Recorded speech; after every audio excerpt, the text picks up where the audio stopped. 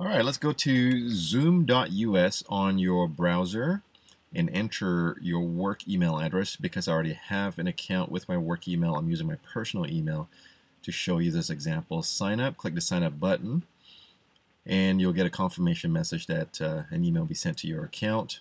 Check your spam folder if you don't see it. Let's refresh the inbox. In this situation here, I'll check my updates, and there it is. Click on it click the blue button to activate the account. It'll bring you to a profile page to activate your account. Enter your first name, last name, and password. Be sure to enter a secure one. The more greens, the more secure.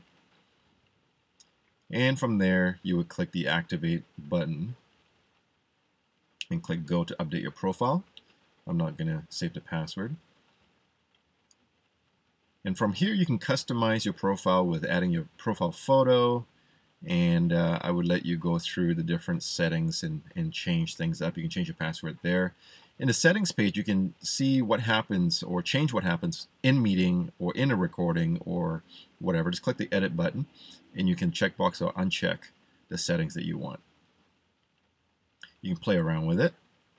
And um, you can, you know, automatically record the meeting when a meeting begins if you want, or you can manually record it.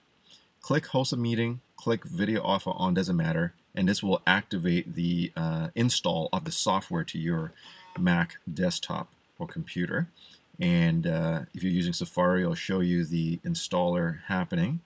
Uh, top right hand corner, if you click on the down arrow, you'll see that the installer will then install. Click the magnifying glass to expand where it is in your Finder. Then you would double click it, run the installer, click continue, and finally it'll be installed to your computer. You see in a dock, that's the icon for zoom.us.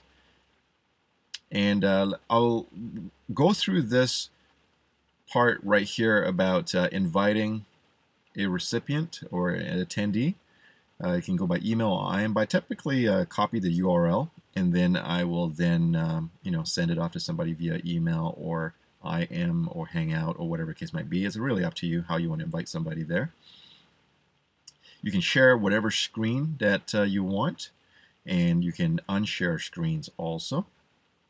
Um, and um, there you go.